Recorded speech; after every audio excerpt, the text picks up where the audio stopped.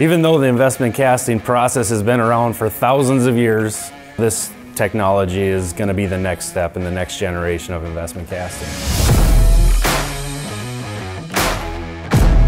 The benefit of the 2500 IC is it is a plug and play for our operation.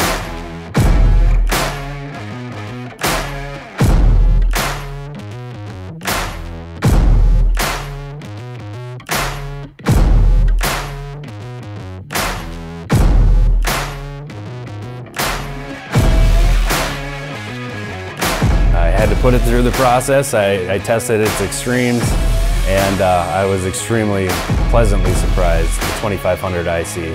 The surface finish, the, the dimensional accuracy was, it blew my mind.